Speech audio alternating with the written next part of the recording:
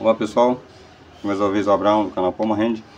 No vídeo de hoje eu quero estar trazendo aí uma dica simples, mas muito bacana e para você estar adubando o seu hibisco em vaso. Para você que quer ter um resultado aí bacana, uma produção de flores aí do seu hibisco em vaso, fique comigo até o final desse vídeo, tá ok? Mas antes de entrar no vídeo, eu quero pedir a você, caso não seja inscrito, para estar se inscrevendo no canal e deixando aí o seu like, compartilhando nossos vídeos nas suas redes sociais, tá ok? Vai ser mais enrolação, bora pro vídeo. Bom, para você ter esse resultado aí também na sua casa, resultado bem bacana aí. Só que eu contei aqui de botões para abrir e outros botões menores aqui, tá vendo? Estão nascendo.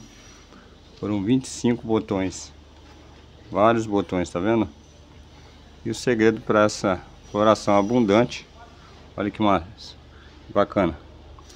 Para o seu hibisco ter uma, uma floração abundante, sempre ter é, rosas aí, passar o ano todo florido, você vai utilizar aí esse adubozinho aqui, esse fertilizante conhecido aqui ó, como NPK. Olha aqui ó, eu comprei bastante, comprei 5 quilos. Dele que eu tenho bastante plantas aqui, né? Como vocês podem ver. Tenho bastante plantas. e bisco mesmo tenho várias, várias mudas. Mas eu coloco, na maioria das minhas plantas eu coloco um pouquinho. E vou estar mostrando para você como que você vai fazer, muito simples. Nós vamos estar colocando aqui na base do vaso, aqui na, nas extremidades, você não pode colocar é, lá próximo da raiz, ok?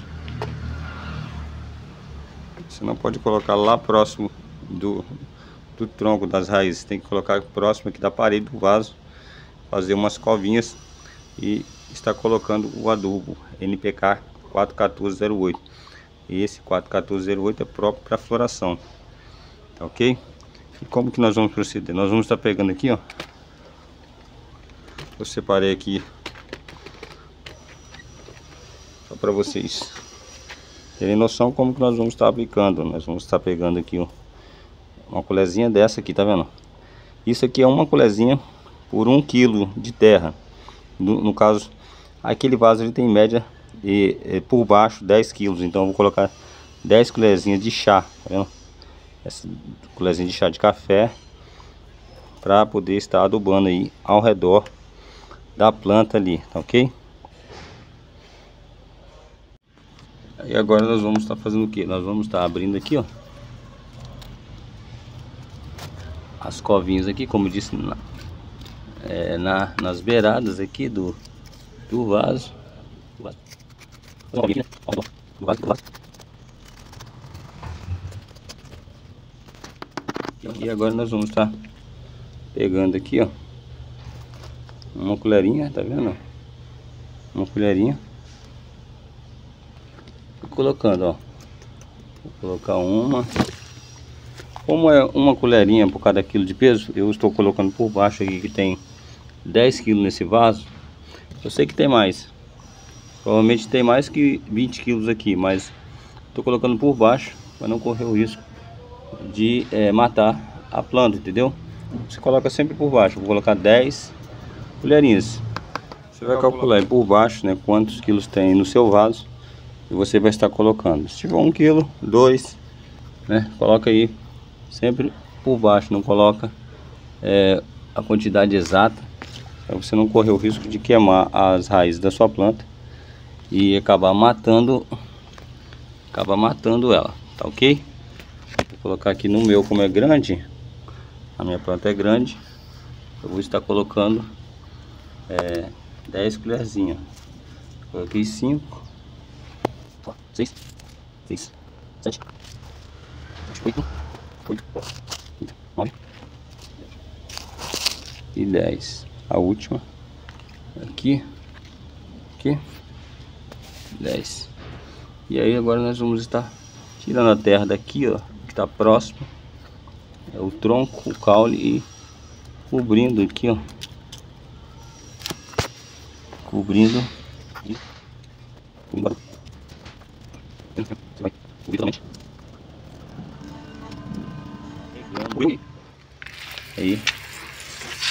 regar sua planta logo em seguida, ok? Para poder é, já ver aí a mistura aí do, do,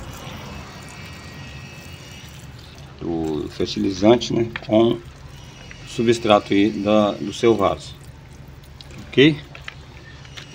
É, em relação a pragas, a, o seu hibisco ele pode ser atacado por essas é, pragas que dá nas folhas, nas flores, né? Uma mosquinha branca. Você vai estar aplicando aí, fazendo o preparo de uma mistura com óleo de coco, detergente de coco ou detergente neutro, com duas colherzinhas de chá de vinagre também. Vai pegar a colherzinha de chá de vinagre em 2 litros de água com duas colherzinhas também de sabão de coco, né? É, detergente de coco neutro ou líquido, ou, ou coco normal, detergente é, neutro ou coco, colocando em 2 litros de água e está borrifando aí nas folhas, né? É, do seu pé para poder evitar é, doença. Isso ajuda muito, é bem simples e ajuda muito também a manter a saúde da sua planta e ela ficar sempre bonita e com bastante é, é, flores aí, como vocês podem ver, vários botões aí para abrir é, e outros né, bem ainda pequeno surgindo ainda nos galhos. E em relação é, é, às regas o hibisco é uma planta que gosta de bastante água só que não pode ser encharcado ok? Não deve ser encharcado a planta, mas você pode estar regando aí no verão praticamente é, todos os dias. É, de manhãzinha ou ao entardecer, você deve estar é, regando a sua planta, para ela ficar sempre bonita, mas sem encharcar, tá ok? Em relação ao sol, quanto mais sol a sua planta é, pegar durante o dia, quanto mais horas, mais flores né, ela irá produzir, ok? Porque esse aqui, é, o hibisco é uma planta de sol pleno e ela adora o sol, tá ok? Um outro dado importante que eu esqueci de falar é a respeito do período. Você deve estar adubando aí a cada três meses, tá ok? Três, três meses você deve estar fazendo essa aplicação aí no vaso da sua planta que você quer é, ver aí florindo sempre, tá ok? Bom pessoal, lembrando o NPK aqui, eu estou usando o NPK 41408 ele é rico em fósforo, que é essencial aí para o florescimento das plantas, tá ok? Você deve está armazenando, se você comprou uma quantidade maior, igual eu fiz, que vem em saco, né? Você pode estar armazenando aí em garrafas PET, poder estar conservando e manter no local seco, né? Longe da umidade, ok? Vocês podem perguntar, mas por que eu não estou usando o adubo orgânico? Eu também uso o adubo orgânico, também recomendo, mas o fertilizante é, é químico, no caso do MPK é químico, ele tem uma ação mais rápida é, para poder estar agindo aí no caso, na floração das plantas, tá ok? Bom, era isso que eu queria estar deixando para vocês pelo momento, espero sinceramente que vocês tenham gostado. Se você gostou, deixe o seu joinha, compartilhe o vídeo e inscreva-se no canal, tá ok? Um abraço, fiquem com Deus e até a próxima. Tchau, tchau.